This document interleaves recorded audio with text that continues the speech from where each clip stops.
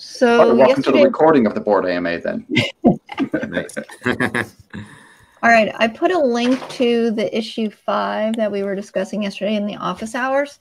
Um, as we get closer to having an official new CentOS logo, um, there was one that was in the um, newsletter, and we went looking at issue five, and we actually liked one of the other ones in there better, um, and gave feedback um, to the team who was working on that.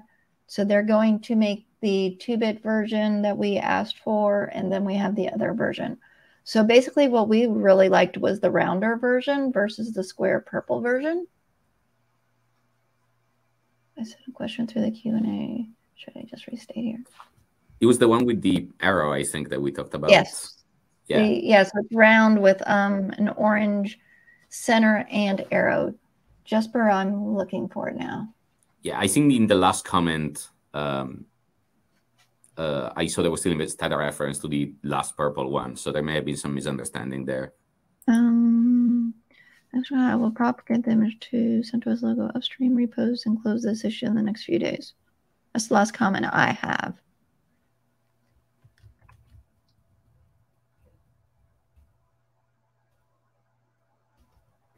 Oh yeah, I mean after under that, the screenshots are for the are for the purple one, not the one with the arrow.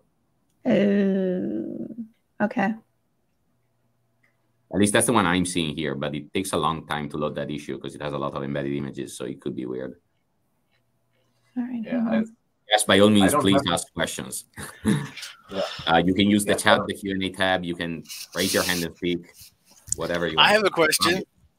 yeah. Um, can, can, can someone just briefly, because this is being recorded and, and I want to use this as evidence to some of my uh, bosses. Um, can someone briefly go over the end of life timeline with CentOS 8 and the expected uh, timeline? I'm sorry, CentOS Stream 8, 8 Stream, and uh, CentOS 9 Stream.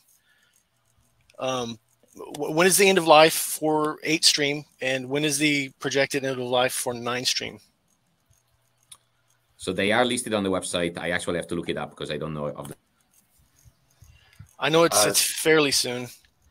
Uh, 2024 for eight. I have to look up the exact month. My my brain says June, but the actual stuff is written.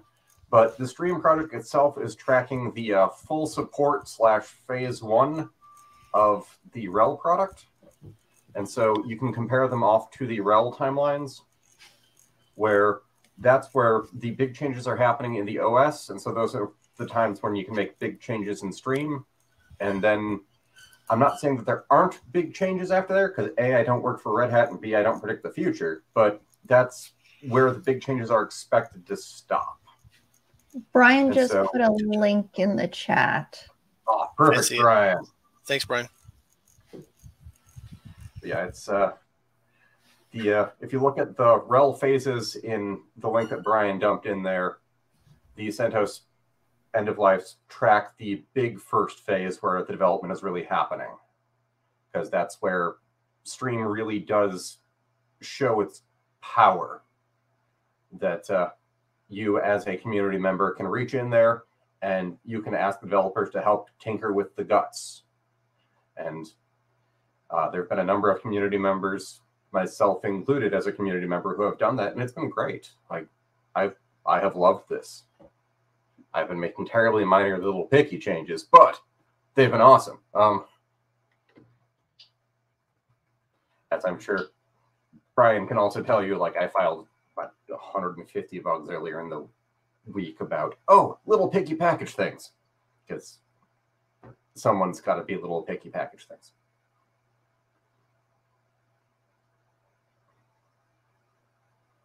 So in the interest of the recording, Brian is saying in the chat we're putting the site to link for both nine stream and eight stream to the um, support policy because it is going to be the full support page.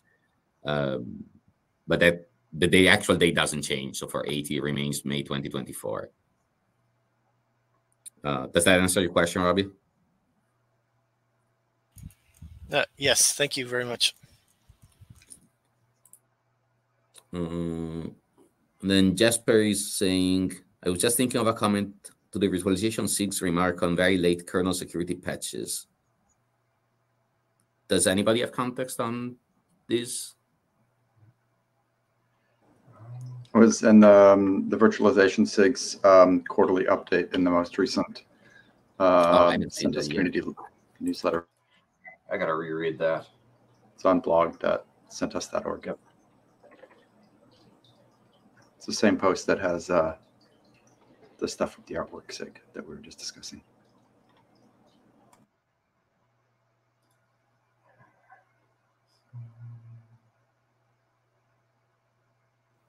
Okay, so for the recording, this says CentOS Stream is lacking important and critical security updates compared to the already released RHEL content. An effort for making CentOS Stream more secure will be welcome. Uh, the latest kernel is lacking CVE fixes delivered in the last 40 days on RHEL 8.6. Uh, so my hunch is that what's going on is what we've seen happen in the past, where sometimes because of the way 8 specifically works, we end up with some content being delivered first in the RHEL point releases and only later into stream as a byproduct of how the 8 stuff works. My understanding is that this should not happen with 9 because the new process uh, actually uses stream as the feeder for RHEL uh, instead of having them as kind of parallel paths. Uh, but like Brian could probably elaborate on what happened specifically here. I need to look it up in the build system and see what the order of things were. Yeah. My understanding is that there is a workflow weirdness with the kernel specifically in uh, stream. I haven't been able to get anybody on record for more than that, which I think is a little bit fair because like they're not exactly authorized to pierce the firewall, but that there is something unique to the way the kernel is built in 8 that their people are working on and that it is loosely tied up with getting the git forge migration over so that there is one workflow. But brian has got video on. Brian help us out here. Yeah, we don't have to read it. yeah, so um, just to give a, a kind of a, a situation here. Um, so if you remember, if you look in the Stream 9 build system, let's talk about that for a minute.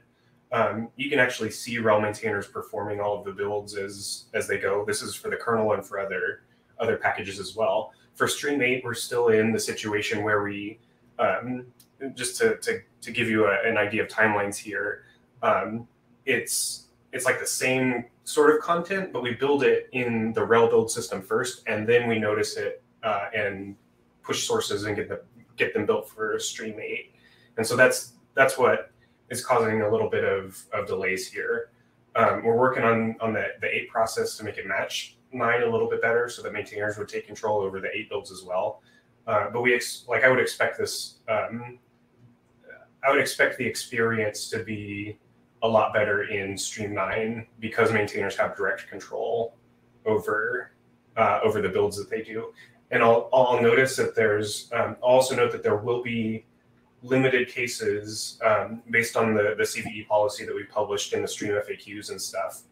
You may still see uh, individual CVE fixes that make it out into RHEL 9 before they make it out into Stream 9. That's just a uh, sort of a policy thing that we've we've had to deal with as, as part of CentOS Stream. So um, again, we'll we'll do our best uh, to make sure that that stuff gets in. But um, uh, if it goes into RHEL first, it's a maintainer activity that they need to make sure that they update the packages on you know on a, a regular basis, and we're uh, we're tracking that.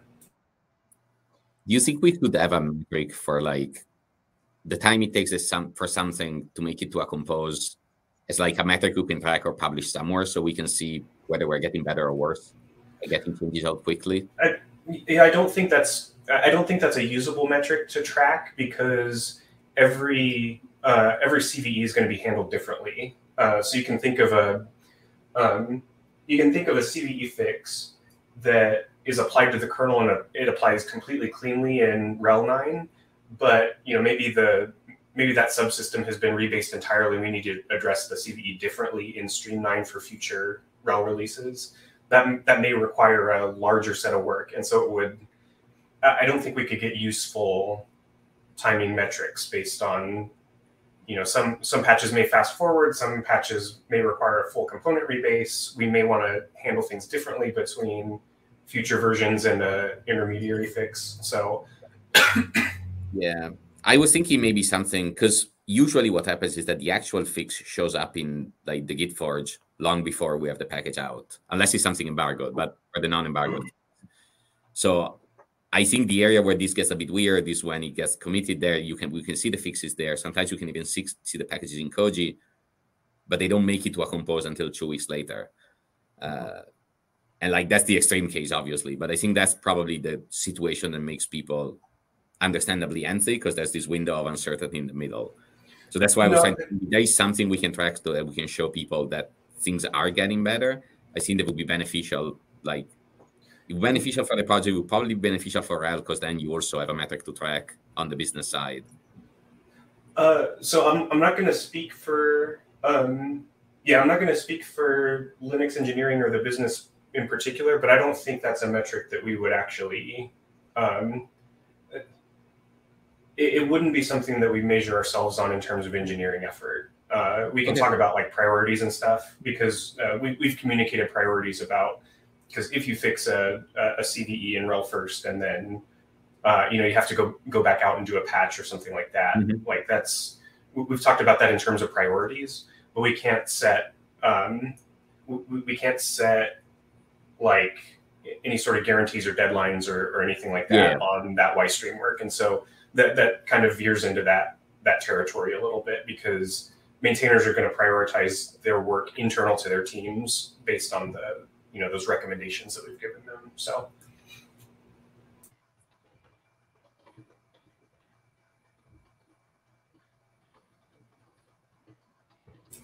But I think uh, one thing I would um, one thing I would also recommend, and this is a this is more of a general um, a general pattern that we can use uh, if you're really interested in seeing um, if you're really interested interested in seeing the latest content as it comes out uh, the the stuff that we publish to composes.stream.centos.org is totally okay for consuming in any number of, uh, of cases. So your CI systems, you can consume directly, um, you know, all of that stuff.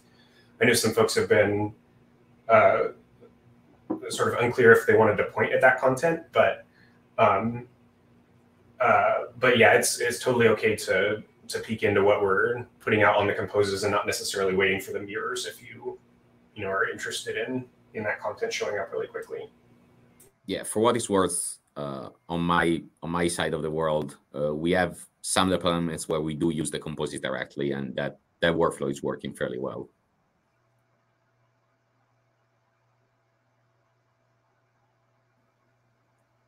And again, for the recording, Brendan Conoboy is saying on chat, it's probably better to talk about the roadmap getting 8 to use the RHEL 9 process so things come out sooner, similar to 9's timeframe um, yes, I agree. I think the nine process will be a notable improvement here. And if we can retrofit pieces of it or it wholesale onto it, that will make everybody happier. Yeah. It's my understanding is that the eight process was figuring out the right way and the nine process was then implementing the right way. And it's hard to retrofit a process, but until you know what that process has to look like, it's hard to build the process. And so it's and I think we have a lot of work overcoming, you know, the issues that existed with the workflow for eight because people don't realize nine is so much better, but they're still talking and complaining about eight. So I think we're making really great waves on moving forward. It's just taken some time. And my continuing plug for I do love nine as a release. Um, if you can move to nine, you won't regret it. Uh, Neil is saying in chat, I don't think CS8 is going to benefit much from the improved process, given how soon it's going to be EOL'd.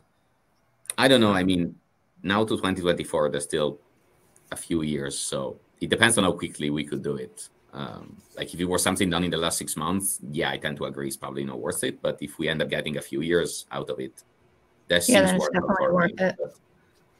But, um, well, so well, uh, one thing to, to comment about that too is um, the well, like some of the um, some of the efficiencies that we're going to see it may not be directly visible to folks out in the community, but it's going to be extremely helpful for RHEL maintainers who have to have like five different workflows, and uh, we're trying to make their lives easier so that you know they can get their work done in a a little more efficient manner and keeping track of fewer workflows and helping us out with the the Stream 8 uh, uh, producing Stream 8 artifacts in the same way that we produce Stream 9 is going to be helpful there.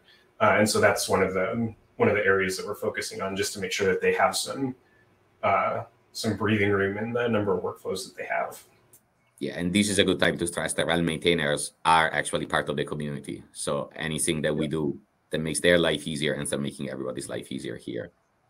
Uh, we, well, we definitely want to avoid the, the like us versus them approach that we've sometimes seen. Because uh, at the end of the day, we're all contributing to the same project and working on the same things, just from different angles. Yeah. And while we've got you, Brian, uh, so secure boot.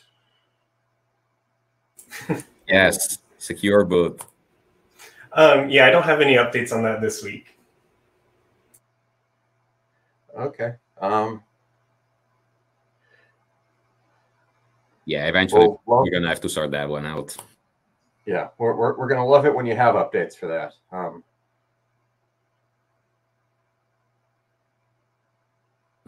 all right, there is some stuff in the Q and A tab, I think. Let's see. Oh, Neil was just asking about secure boot. Well, I guess we've answered the one. Uh, oh, and, we've we answered the already. Oop. Sorry, Amy, you were saying. Yeah, and we answered Jesper's, which wasn't there earlier, but Neil did put in another one. When are we going to see RHEL developers in a public matrix room and on the public mailing list? Which I think would be great because then it just, you know, goes back to Davide's point. They are members of the community. And I mean, I think I just saw an email from Florian like Tuesday. Um, I mean, yeah. I think some maintainers are definitely active in mailing lists and on some channels. Um, I think the spirit of the question is how can we have kind of a wider push to ensure that it's easy for maintainers, for ad maintainers to access these public channels, that they, they're aware that these public channels are where a lot of the communications are happening and that they feel welcome there. Um, and I honestly don't know what the answer to that is, but it is something I would love personally see. And that one's largely sort of a how your development team is constructed kind of question. Um, you don't want to mandate workflows on people who are being productive with their current workflows. Um, I, everyone wants more transparency. No one's against that, or if they are, they're wrong. But telling someone you've been working great this way, you're doing fantastic work this way, now work this other way, is a complex process. Um, you don't want them to feel like the great work they've been doing is somehow devalued, and you don't want them to stop doing that great work while they adapt to a new workflow. And um, I, would love to see more open, more places, more people, but I'm also really happy with the quality of technical work that's been being turned out, and none of these people report to me. And so that's it's very much a group leader team culture management workflow kind of thing. And yeah, I'll, I'll note, like I'll, I'll pull back the, the curtain a little bit too because there there's no single place that every RHEL maintainer hangs out internally either. Uh, like they don't all show up in a, a single room, and so like one of the things that we're trying to do, and, and what I'm hearing the you folks ask for is just uh, make sure that maintainers are aware of the the venues that are available to them, and I think we can we can make some progress on that for sure. Um, and I go ahead, Brian. No, I think that um, the the one thing that I would I would also say is um, like some of the some of the tactical level uh, conversations.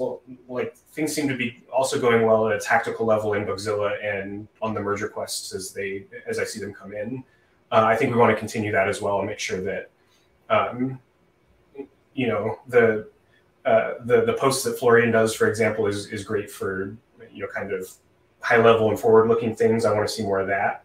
I also want to see us continue the uh, the tactical level discussions on the Bugzillas and in the merge requests themselves because that that's been really uh, really useful from um, a RHEL subsystem team perspective to to have those conversations internally. So that's been going really well too.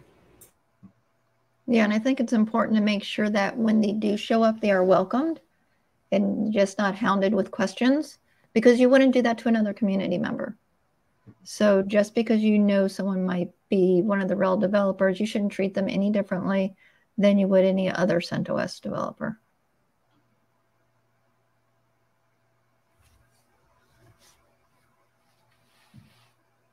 All right, going back to the Q&A from Anonymous. What is a technical worry you think about for long-term planning? 2038. Um, that is coming fast if you look at uh, roadmap timelines. As let's say you're on a RHEL system and your company always buys extended update support. Uh, that means that RHEL 10 is going to be running in your environment in 2038.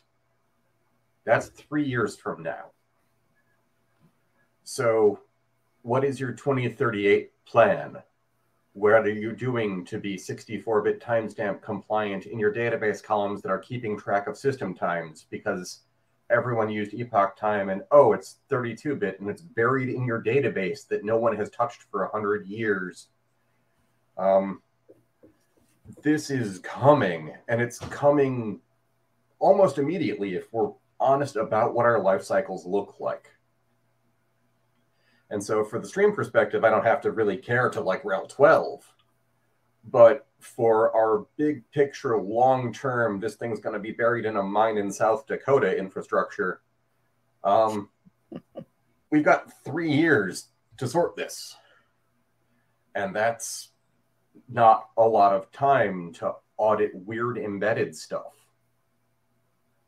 So yeah, that's the thing that worries me. Um, like even if you look at the uh, nine release notes, uh, the XFS on disk format changed in order to accommodate 64-bit timestamps with nine. Hurrah! Thank God. I thought it was already doing that. Uh, so yeah, if you yeah. think about it, there hasn't been a lot of hype about this. Yeah. You know, not like everyone was panicking at the year 2000. So maybe that's something we can actually lead is reminding people that this is happening and they need to audit their systems and be prepared for it. And to remember that no one turns off a system that's working just because it has bugs. And th- there's a reason why the big virtualization solutions have their stuff certified to run DOS. Um, someone paid for that certification because they thought it was a valuable product marketing gimmick that means that they think that there's enough people out there running DOS still. Dot, dot, dot, dot, dot, dot.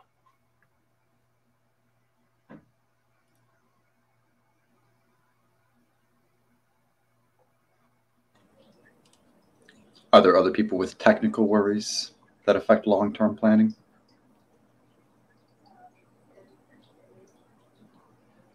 Uh, I, I also worry about ECM signature migrations.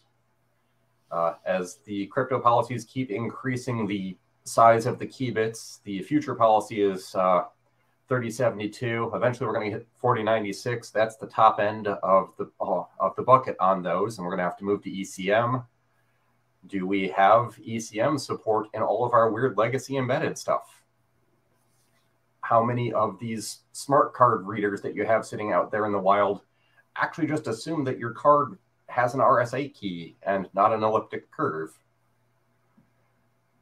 I, I worry about those.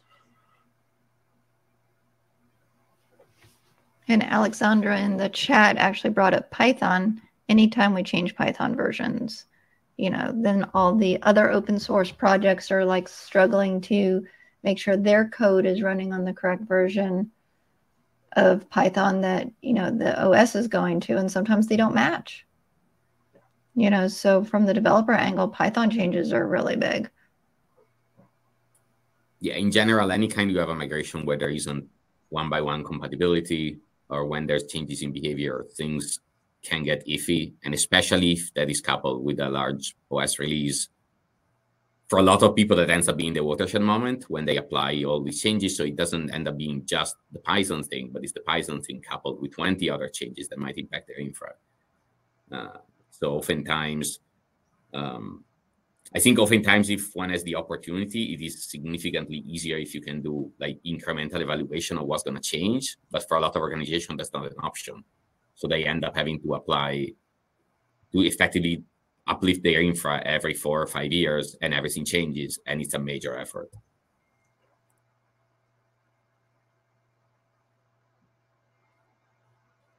But yeah, for for like future things specifically, I would like to see in general, and this isn't this is maybe less of a less technical thing, but I would like to see in general that I push towards that we started with CentOS Stream, with eight and with nine to continue to have more more places where folks can collaborate on the projects, more entry points for the projects for people to contribute to, both for people with technical work and non-technical work. Like I think one area where we can we could definitely use some help from the communities on the documentation side.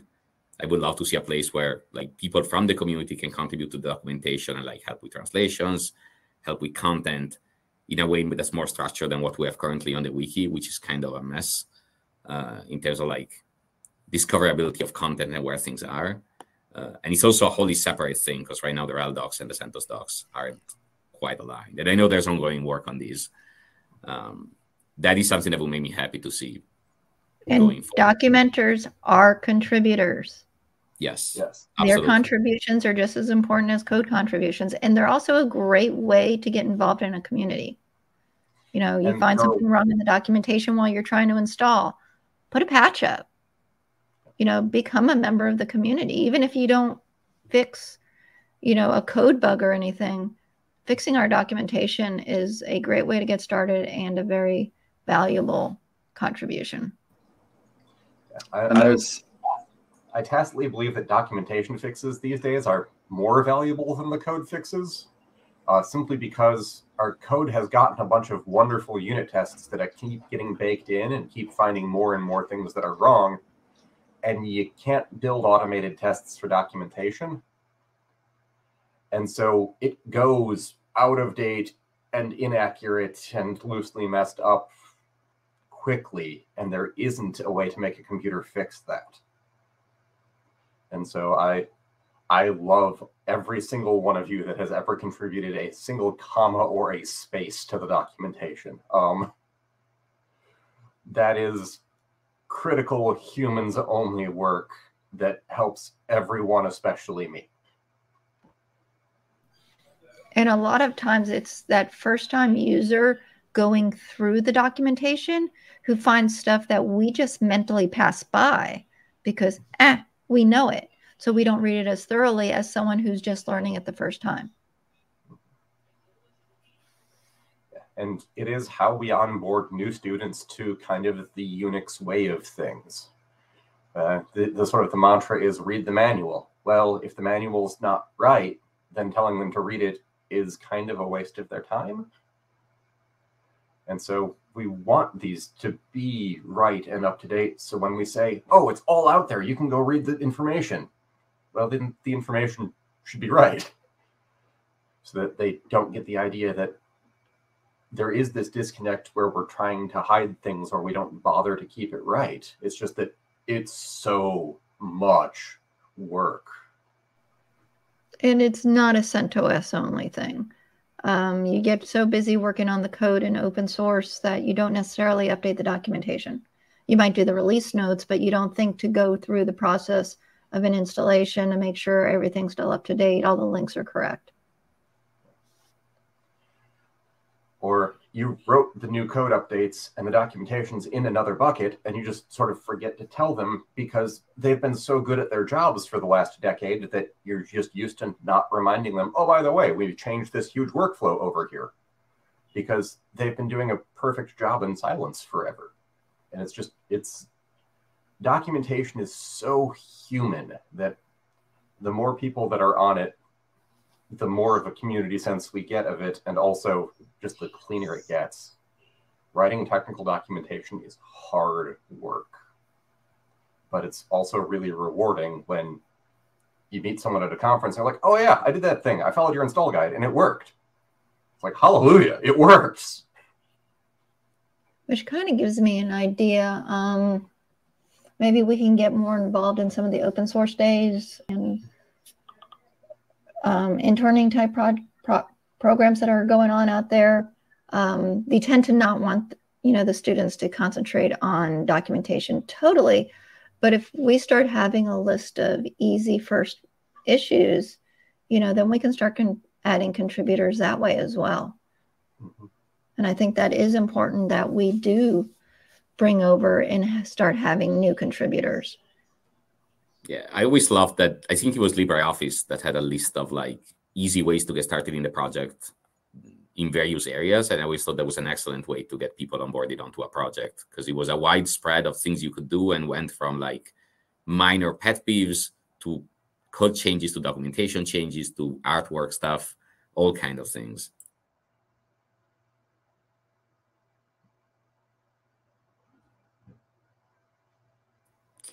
Looking at the scroll back in the chat if we missed anything. Uh, oh, Alexander mentioned change them from mailing list to discourse. Uh, we do have a discourse for CentOS. It's not widely used. Like any, all I see in there is mostly announcements at this point. Um, I feel like this is one of those things where if the community as a whole decides the discourse works better, we can certainly do that. But my impression is that this particular community seems to prefer mailing lists, at least for now. And uh, Sean dropped a great link in uh, the chat for the work in progress docs. And Mike dropped a uh, what can I do for fedora.org link. Yeah, and I just clicked on that. That's really good. Oh, yeah, it'd be great um, for CentOS. Yeah, I was not even aware that this link existed. And Ooh, 403. I got a 403 from Fedora. I know, right? Um, yeah, and even in OpenStack, we have something like that in our community guide is do you want to get involved in this, this, or this? And you pick your path, kind of a choose your own adventure. Um, but I really like this Fedora one. So maybe that is something we can look at as we become, you know, where we've moved in the life cycle type of, you know, flow actually gives us a really good opportunity to bring in new developers who aren't just packaging, that are coding and the documentation and everything else.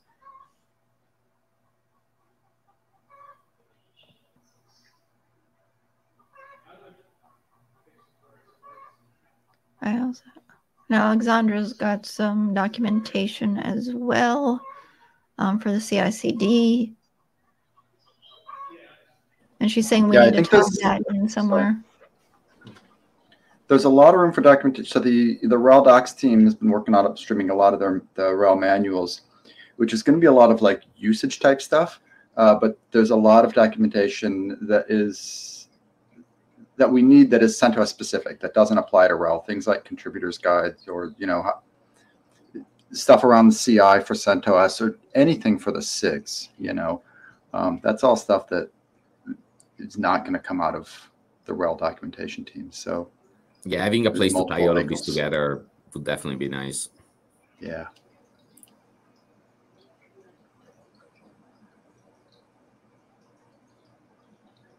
It'd be kind of nice to actually just do a. Um, I'm a big fan of in-person documentation sprints. Just get, you know, some of those RHEL docs people and a couple of community people in a room for a week and we do have a dojo coming. If you want to do a session around this there, we could do that. I am. I, I do want to get the um, a, a, presentation at least about the RHEL docs work at that uh, dojo, and it might be, but it might be delivered virtually by um, the RHEL docs team is in is in the Czech Republic, and I I don't think they're going to be able to come out. So, but that could be something we focus for the next dojo that will be over in Brno um, or FOSDEM. Yeah. And I think one thing we could do is maybe bring, you know, like a couple NUCs and monitors or get them from the Westford office and bring them over so that if we do want to want to run through the installation process, we can do it there and Yeah. follow along and do the docs. Is DevConf CZ going to be in person next year? I believe so, and I believe Fosdem Hope is. so. well. Oh, nice.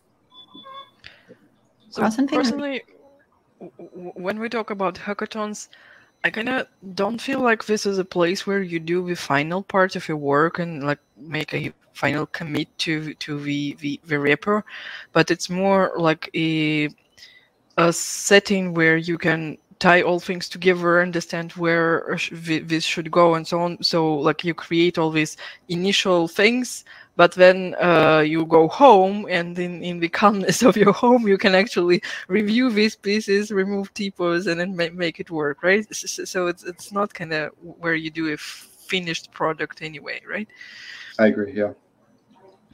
I've, I've done some some doc sprints for for GNOME, and that's always been my strategy is to focus on the the, the planning and stuff because that's the stuff where it pays to have the in person high bandwidth.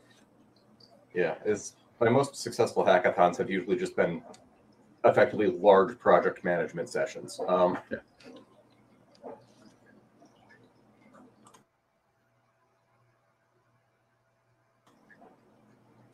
We actually just have four minutes until um, Troy and Carl will talk to us about EPEL. So we definitely filled up this time with conversation.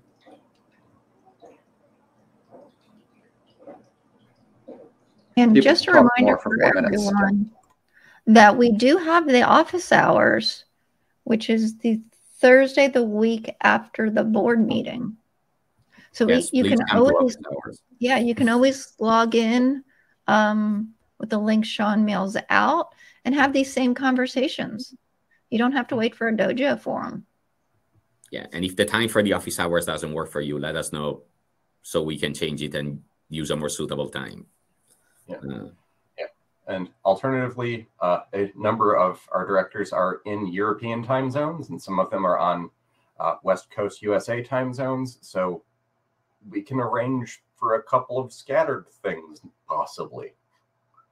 Um, there are lots of options if there's people to talk to.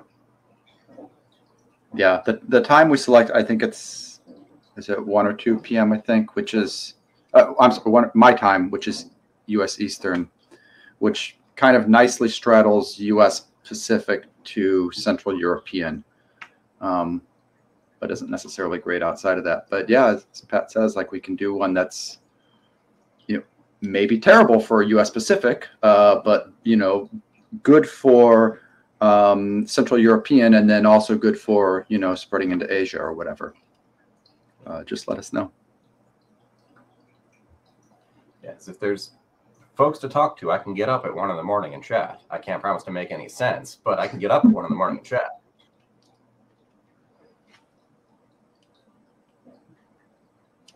So we should probably get ready for Carl and Troy. Yep. But it's been Yep. wonderful talking to all of you, and I hope things go well. Oh, Thanks, and everyone. Brian mentions there's also monthly Stream office hours for about technical questions around CentOS Stream specifically 17 UTC on the same day as the board meeting. Yes, I Right. highly encourage people to attend those. I always found them really, really useful. All right. Take care, all. Thank you for the questions. And thank you to everyone on the board for attending.